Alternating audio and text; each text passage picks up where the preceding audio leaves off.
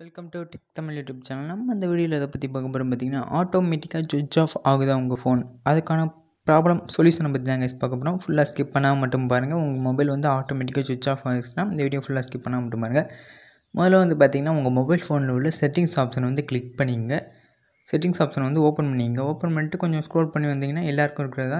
சிஸ்டம்னு ஒரு ஆப்ஷன் இருக்கும். அதை கிளிக் பண்ணிட்டு நீங்கள் வந்து சர்ச் பண்ணால் கூட ரீசெட் ஆப்ஷன் சர்ச் பண்ணுங்கள் சர்ச் பண்ணால் கூட உங்களுக்கு வந்து ரீசெட் ஆப்ஷன் வந்து வரும். அதில் வந்து பார்த்தீங்கன்னா உங்களுக்கு வந்து ஃபஸ்ட்டு கூட இருக்கலாம். இதில் வந்து எதை கொடுக்குறீங்கன்னா reset all system only reset all system only கொடுத்துட்டு அந்த ரீசெட் செட்டிங்ஸை வந்து கிளிக் பண்ணிடுங்க ரீசெட் செட்டிங்ஸை வந்து கிளிக் பண்ணிங்கன்னா